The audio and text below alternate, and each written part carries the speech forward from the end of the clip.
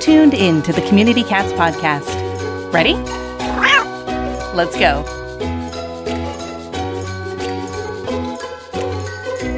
Welcome to the Community Cats Podcast. I'm your host, Stacy LeBaron. I've been involved helping homeless cats for over 20 years with the Merrimack River Feline Rescue Society.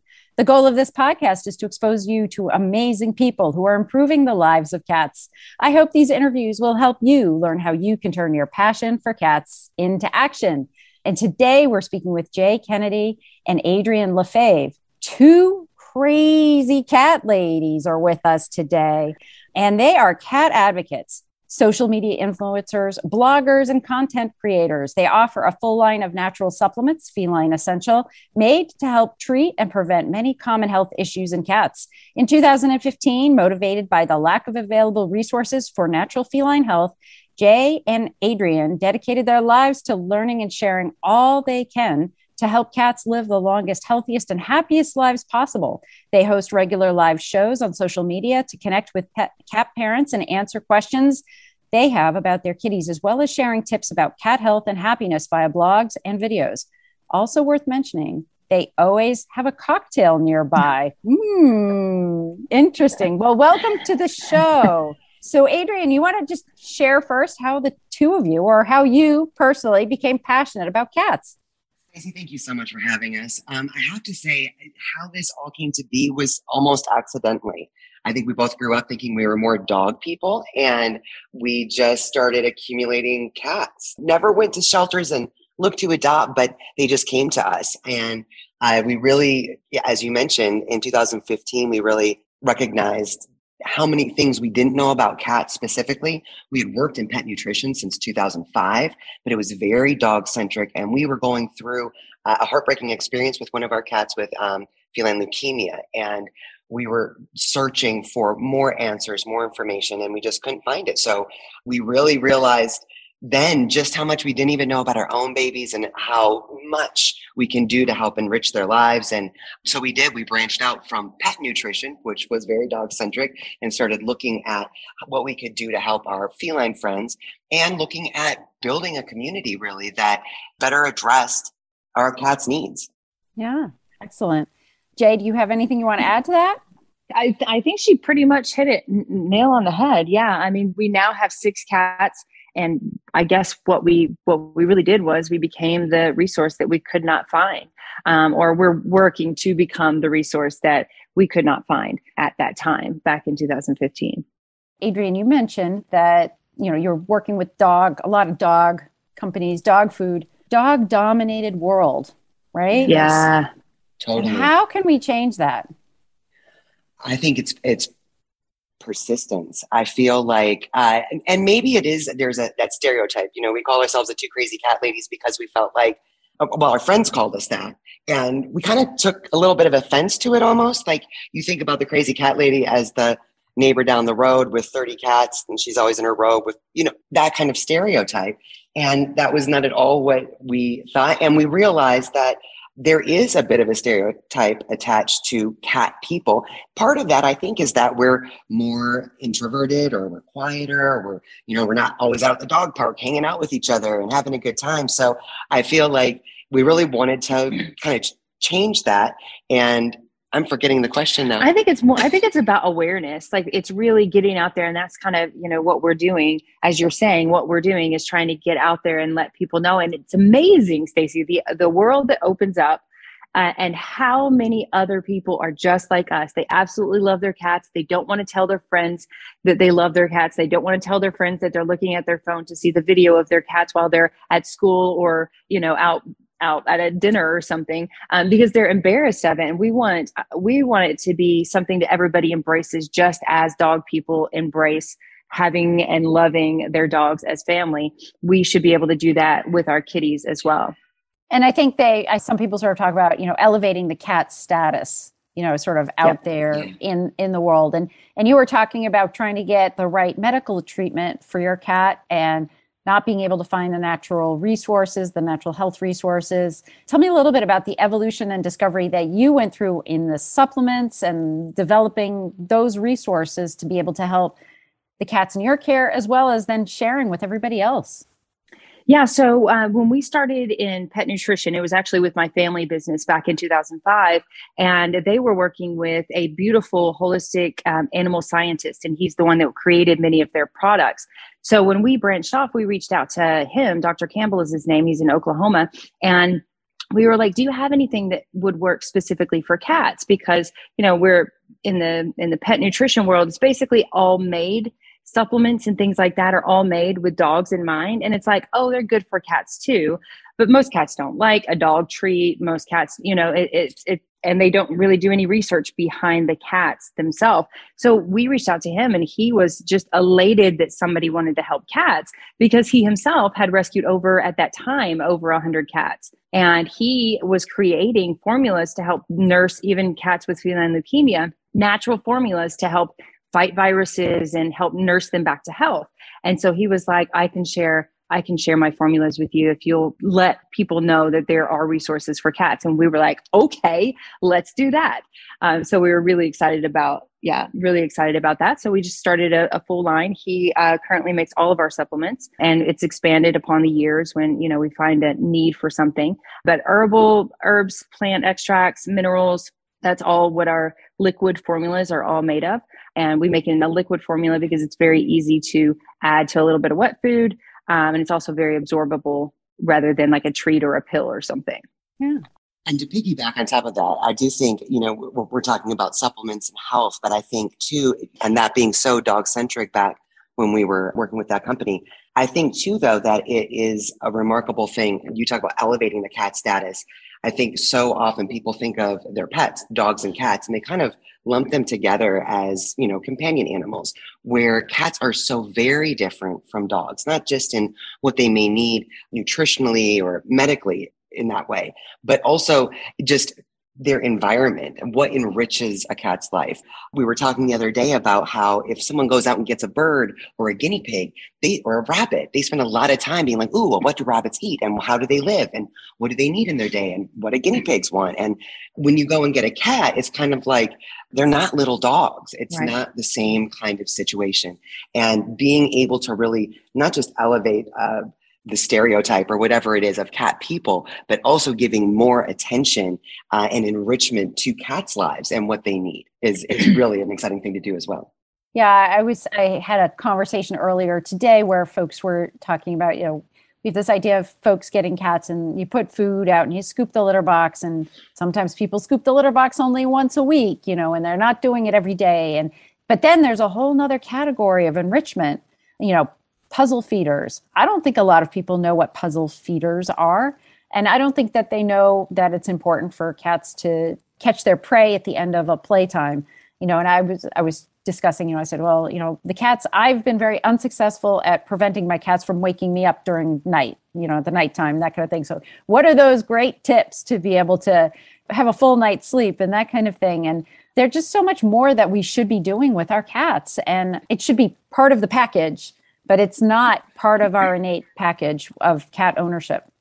Yeah, unfortunately, many of us think, and we were we're guilty of this too when we first, you know, became cat parents way back in the day, 20 something years ago.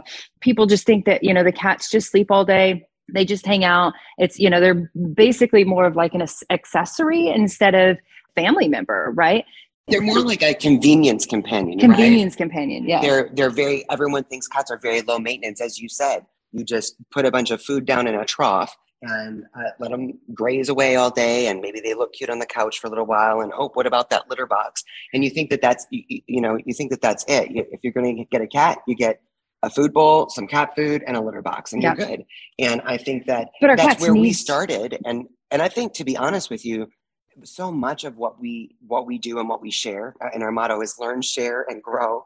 And we're trying to continue doing that every day a lot of what we share are, are mistakes or things that we mistakes is a harsh word i guess but but yeah mistakes that we made with our cats not recognizing not realizing their needs um, right. and not giving them their their best life really you know not letting them live their healthiest happiest most enriched life and it's very exciting to continue learning and finding people you know in 2000 i think it was about 2007 when we went through um, feline leukemia with Tiggy, it seemed like the internet was very young at that time, right? Like mm-hmm. we didn't we didn't even know did they have google then? I don't even remember but but it was hard to find things. And you know one of the first websites that we found was dr lisa pierson's website catinfo.org and it was like oh wow this is a lot of information.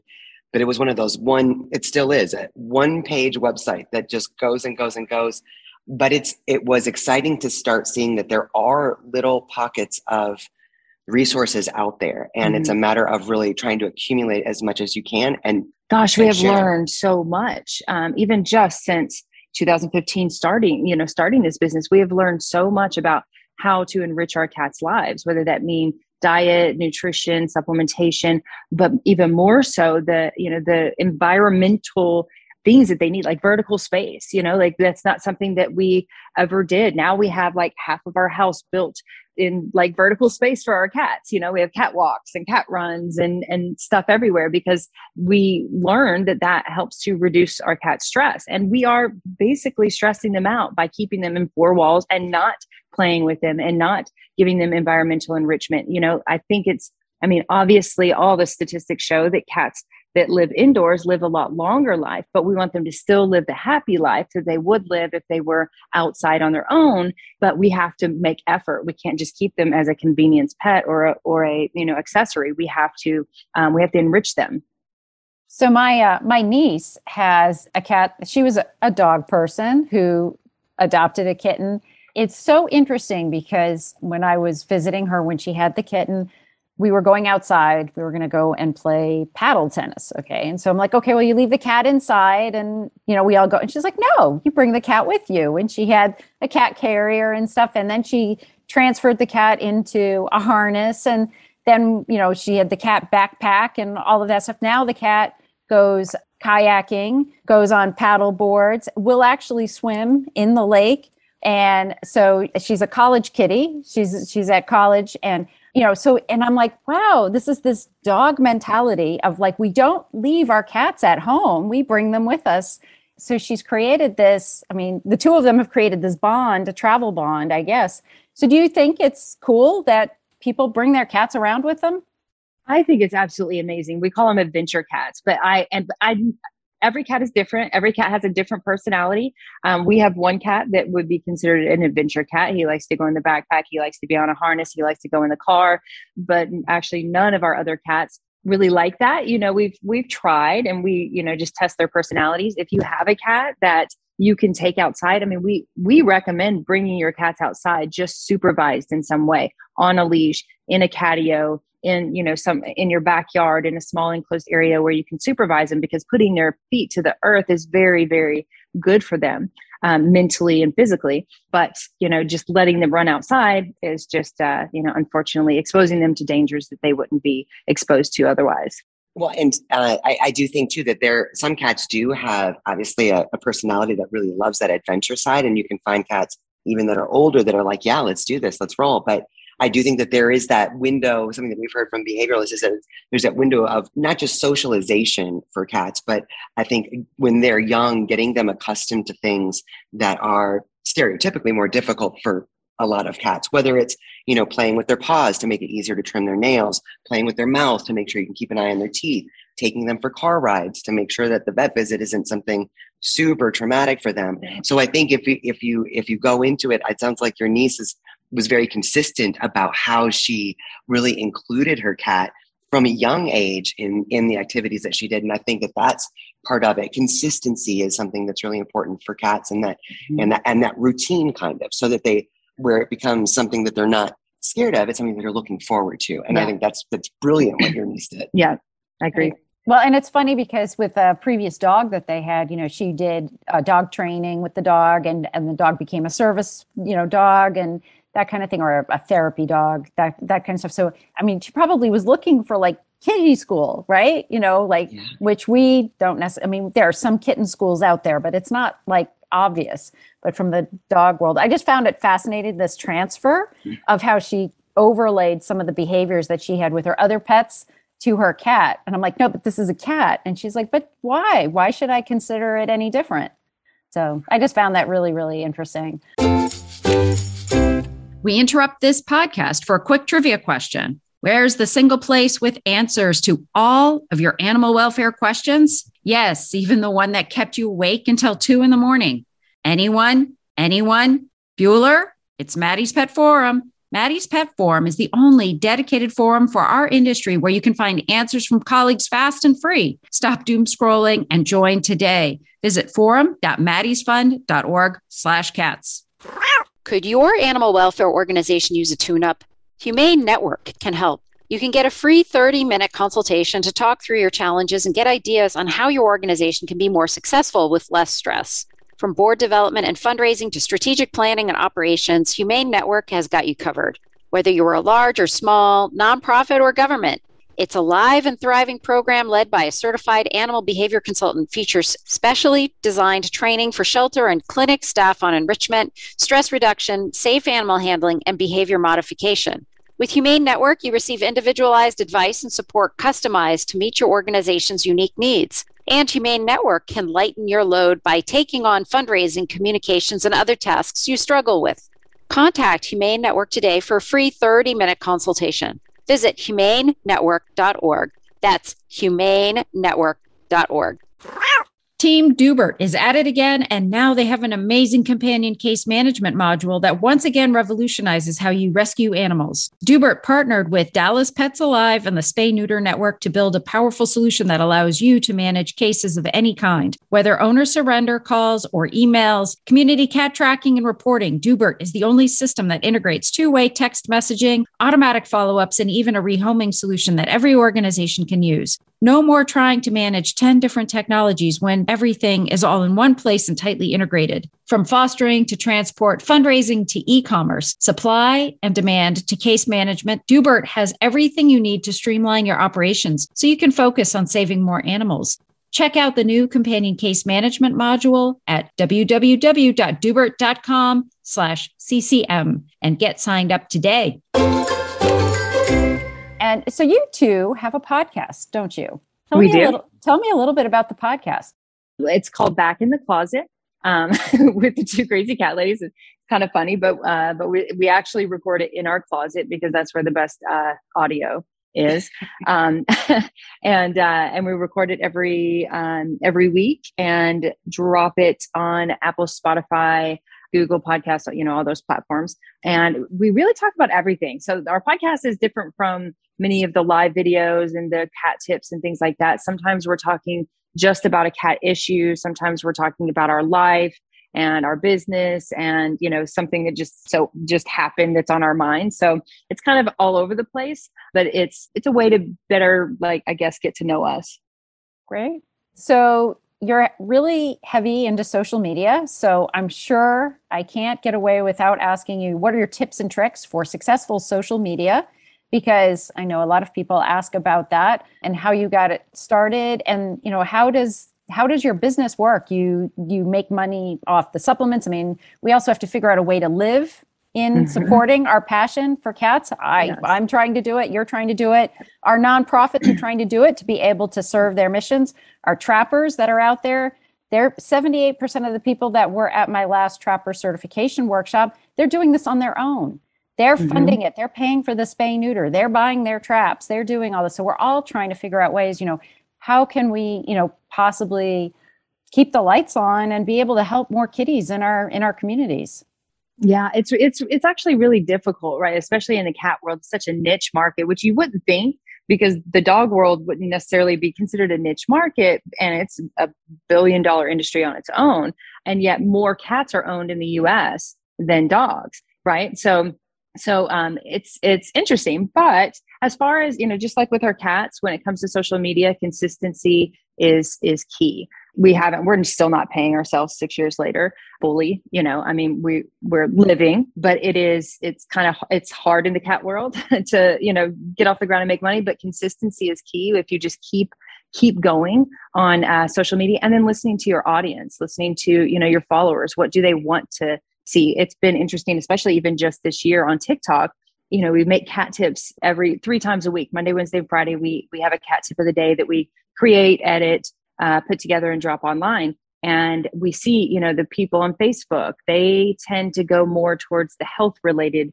ones and the people on instagram tend to go more towards these type of uh, cat tips and then on on TikTok, it's like they want to know about whisker stress. Like they're, you know, like it's like, wow, we're really to the the tiny things about primordial pouches in cats. And what was that thing that's called the henry's pocket in my cat's ear? Like they're interested in like fun facts more so than um, than health things. So it's paying attention to your audience and then and then curating that content based on what they want uh, I think is the key to social media success. Yeah, and I think some of the nuts and bolts are really, you know, looking at lighting, looking at um, not just paying attention to the audience, but understanding that people have a very short attention span yeah. these days. So engaging people as quickly as possible. And and I, you, when you said successful social media, I'm not quite. We're still working towards that. I think that it's a challenge every day, and we learn a lot from uh, our community. We really do.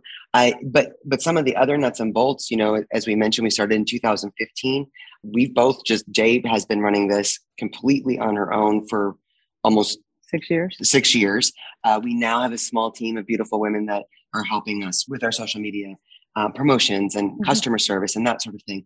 But it is, I, I, hear what you're saying, especially for those that are out in the field, really in the trenches, helping community cats and uh, doing rescue work and that sort of thing. It's difficult to to figure out how can we balance this in a way and i feel like we were very spoiled because we were able to start the business and jake had worked full-time and i kept a full-time job until uh, july of this year. Yeah. so it's a very long road of just being as consistent as possible but it's so true that it's the passion that drives it most. Yeah 100% because That's what yeah so we made every mistake you can make as a business when we when we started because we were like okay well business we have to make money. So we have natural products. We are going to reach out to cat parents and we're going to help sell products to help cats.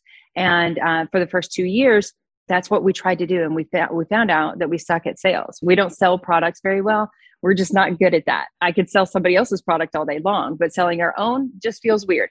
So after two years, we honestly went bankrupt, literally bankrupt. And then, but we weren't going to stop because we knew that our mission was to help cats. And it grew over those two years too. So we ended up changing our perspective. And instead of trying to sell products, we started selling our passion. And that's when we really started learning everything that we could. So we're just giving out free information left and right, left and right, left and right. This is how you can help your cat. You don't have to buy our product. You can do this, you can do that. Then our profits started to increase because people started to, you know, really trust the brand and trust that we actually care. And um, yeah, and I think that's been our our key to success so far. Before we um, wrap up, I have to circle back to your cat that had feline leukemia because feline leukemia is near and dear to my heart. Also, the organization I was with, we've been adopting out feline leukemia cats since 1996. And uh, so I adopted out one of the first, I adopted the first cat, and her name was um, Nala, and she was a mom cat. And unfortunately, her kittens, as well as we had orphan kittens that latched onto her and back this was back in the day and the vet tested the kittens after that she had nursed them for months and months and months. And at that time the vet thought we had a euthanasia policy with regards to positive kittens and her kittens got positive and and the the orphan kittens were positive and they were just euthanized. And we freaked out when that happened and Nala, the mom, came into our adoption center and, she, she's healthy. And they were like, oh, you should probably have the mom come in and get tested. Mom got tested. She was positive for feline leukemia. She picked him up from the orphan kittens. Said, there's no way we're going to put this kitty to sleep because she gave her life for those babies. And so we had her in, we had her in our adoption center. And I adopted her out to a seven year old girl the girl came in she fell in love with nala. She thought she was wonderful. And i said to the, i pulled the mom aside. I said you know you realize you know we don't know what's going to happen here with the, with feline leukemia. And she goes you know the bond is more important than anything else. And she goes my daughter's connecting with that cat. The cat's connecting with her. We need to take her home you know for whatever time she might have. After that we never had any cat that tested positive for anything put to sleep after that point in time and so, you know, hundreds of feline leukemia positive kitties have been adopted out, you know, through the program. But with all that being said, I just, I'm assuming you feel as equally passionate about feline leukemia kitties based on your experience. Yeah, absolutely. Absolutely. The stuff that we have learned um, is so, it's actually so refreshing to know that, you know, a cat with feline leukemia or FIV even can live a long and healthy and happy life just like any other cat. They just uh, need a little bit more support than um, than maybe the the average healthy cat. But it doesn't stop them from um, getting a chance at life. And you know, we, we didn't know when we got that awful diagnosis. We just heard feline leukemia, had never heard of it before.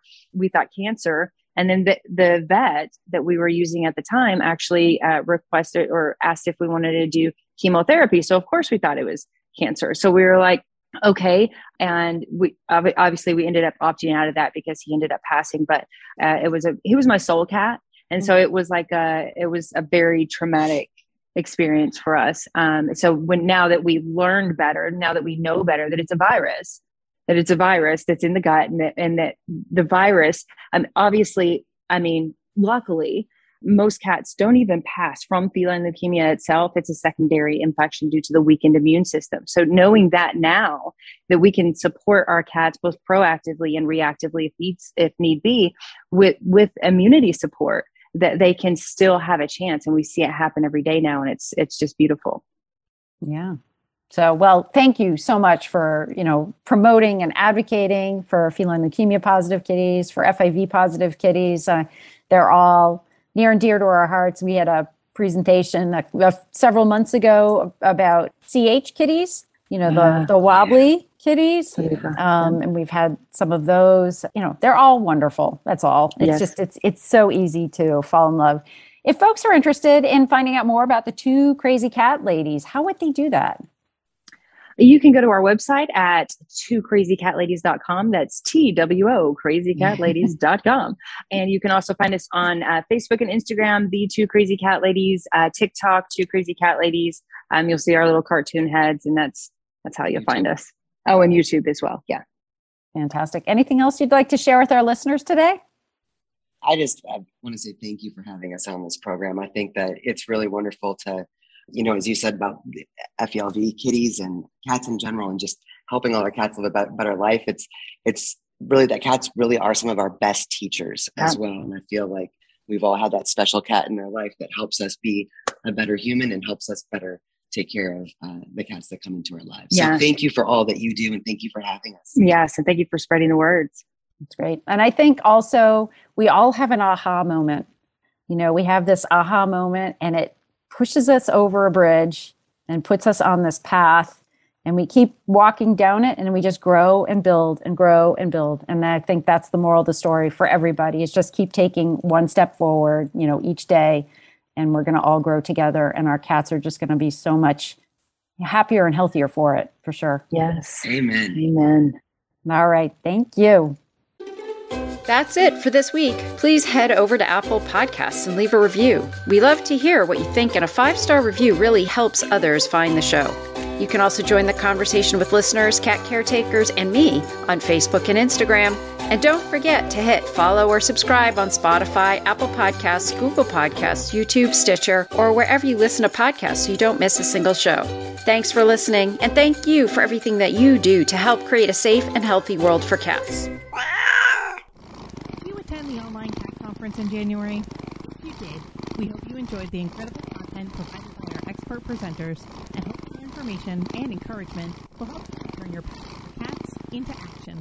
Events at the online cat conference would not be possible without the support of our generous sponsors. Premier sponsor was Maddie's Fund. Leadership sponsors include Best Friends, Tika, Dr. Elsey's Cat Products, and Care. Sustaining sponsors included Pets Atmel, Humane Network, the MSPCA, and the Vermont Humane Federation. If your or organization would like to support content that makes a difference for cats and communities worldwide, visit communitycatspodcast.com slash event sponsorship.